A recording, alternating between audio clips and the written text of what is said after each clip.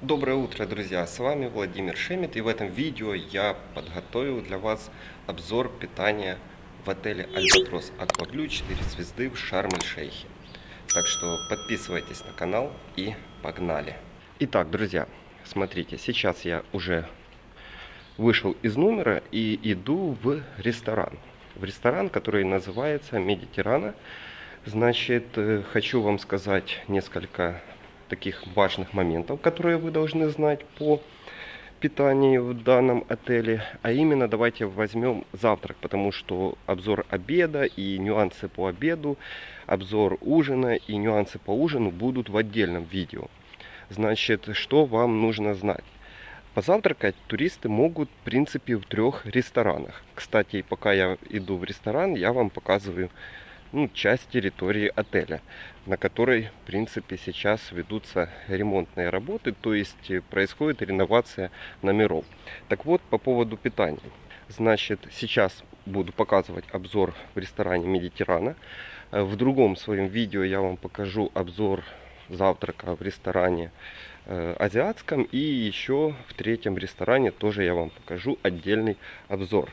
В принципе, позавтракать можно в любом из этих ресторанов, поэтому сейчас мы это все посмотрим, как это все выглядит, как выглядит в этом ресторане, ну и как выглядит питание в другом ресторане. Я, конечно же, покажу вам, но в другом видео.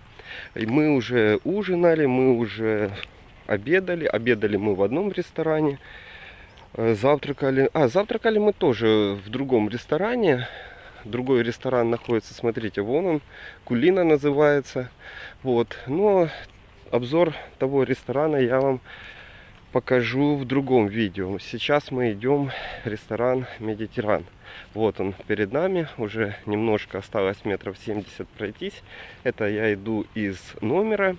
Семья моя еще спит, пускай спят, чуть-чуть попозже встанут, пойдут. А пока людей немного, я надеюсь, с утра немного, я постараюсь показать вам нормальный обзор питания. Значит, на часах 7 часов 13 минут. В принципе, из того, что я вижу, еще туристов немного ходит по территории отеля. Я так понимаю, они еще спят. Так вот, друзья, что еще хотел сказать вам по поводу ресторанов. Значит, есть вот итальянской кухни слева, а вот Медитерана, и здесь он азиатской кухни. Они как-то так вот вместе находятся. Ну, собственно говоря, как бы сейчас мы это все посмотрим. Это терраса открытая, и там внутри помещения есть тоже столик. Итак, вот он, наш вход в ресторан. Ну, а в ресторане уже, конечно же, есть туристы. Итак, что у нас здесь? Начнем мы, наверное, с этого стола. Тут у нас колбасы и сыры. Ну, колбасы, я думаю, вы все в курсе. Это египетские колбасы. Не всем они нравятся, да и мне в том числе. Сыр, кстати, вот этот вот желтый нарезанный мне вообще не нравится. А вот сыр фета вчера я кушал, мне очень понравился.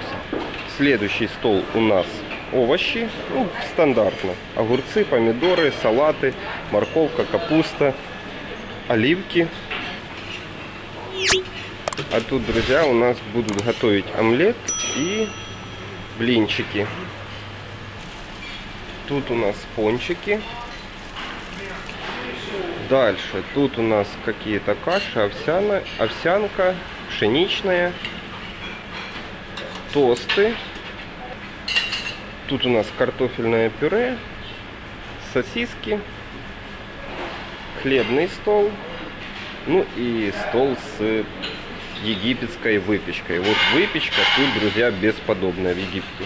Ну и в данном отеле тоже вкусно все. Так, тут можно сделать себе кофе, чай, различные напитки газированные, пепси, миранда. Ну, а это юпи, который все так не любят. Следующий стол. Ну, тут у нас еще сосиски, только куриные, яички вареные, какое-то бобовое блюдо. И вот, друзья, у нас стол и с йогуртами. Я не знаю, тут, видимо, добавлены в некоторые йогурты какие-то джемы, потому что есть полностью белый, есть какой-то коричневатый, розовый и какие-то пудинги. Есть различные рода джемы, инжир, абрикос, мед и варенье из земляники. И вот мы добрались к столу из фруктами. Значит, смотрите, есть апельсины почищенные, есть яблоки порезанные, есть финики. Это у нас, друзья, грейпфрут. Вон порезанная, по-моему, дыня и еще яблоки в каком-то сиропе. Значит, вот у нас есть хлопья кукурузные, ну и горячее молоко. Столы накрыты таким вот образом. Есть вилочка, нож и ложечка. И бумажные салфетки. Наконец-то Египет избавился от этих тряпчаных салфеток. Значит, смотрите, снаружи эти рестораны выглядят вот таким вот образом. Как я вам говорил, есть открытая терраса и есть столики внутри ресторана. Смотрите, вот это вот ближе ко мне, это Медитеран, а дальше за ним идет ресторан азиатской кухни. Но, что я вам хочу сказать, помещение, оно объединено, то есть это одно большое помещение и, собственно говоря, какой-то разницы я вообще не увидел, потому что, в принципе, по всему ресторану находятся столы с едой. Территориально эти рестораны находятся возле ресепшена, ну, рядышком с ресепшеном. Вот смотрите, вот ресторан я вам показываю. И слева вот здание с такими куполами, это ресепшн. И там тоже есть часть номеров и тоже есть такая особенность, друзья. Смотрите, вот это ресторан. И над рестораном есть номера. Честно говоря, я бы не хотел бы жить в номере над рестораном. Из-за того, что в ресторане, когда много людей, достаточно такой шумный.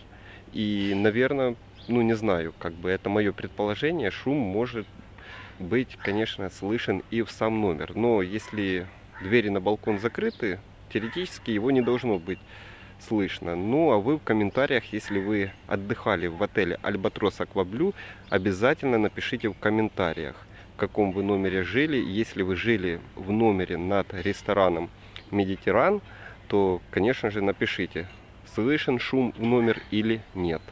Итак, друзья, это был обзор ресторана и питания в отеле Albatros Aqua Blu, а именно азиатского ресторана и Mediterranea. Значит, что хочу сказать по самому питанию. Э, в принципе, его достаточно. И лично мне его с головой абсолютно достаточно. То есть есть омлет, есть сыр фета. Ну, собственно говоря, овощи тоже есть. То, что и нужно лично мне для завтрака. Вот, многие, конечно, могут сказать, что это очень слабое питание, но тут я хотел бы задать вопрос для тех, кому это питание слабое.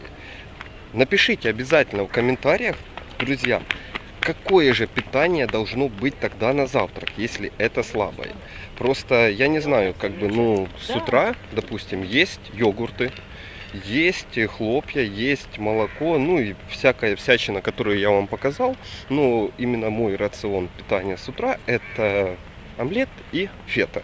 Это мне достаточно. Ну, можно там каких-то парочку сосисок схавать, но я лично тоже так сосиски такие посредственные. Вот. Но вы обязательно тогда напишите в комментариях под этим видео, потому что многие туристы говорят, что это слабое питание для завтрака. Мне просто вот интересно, очень интересно, какое же питание должно быть на завтрак, чтобы было отличное. Вот. Вот напишите, пожалуйста, в комментариях, потому что я видел сотни отелей, видел, значит, э, очень много отелей, в том числе я и кушал в этих отелях, и завтракал, и обедал, и ужин у нас был, но просто мне вот очень интересно, какое же должно быть питание, по вашему мнению. Ну, если у вас есть какие-то вопросы, обязательно их пишите в комментариях под этим видео. Буду стараться вам отвечать на ваши вопросы. Если у вас есть информация, которой вы можете поделиться, вы тоже пишите в комментариях под этим видео, я обязательно почитаю. Ну и не забывайте подписываться на мой канал, кнопочка подписаться внизу под этим видео. Спасибо всем за внимание, желаю вам только самых лучших впечатлений от всех ваших путешествий, до новых встреч, пока-пока.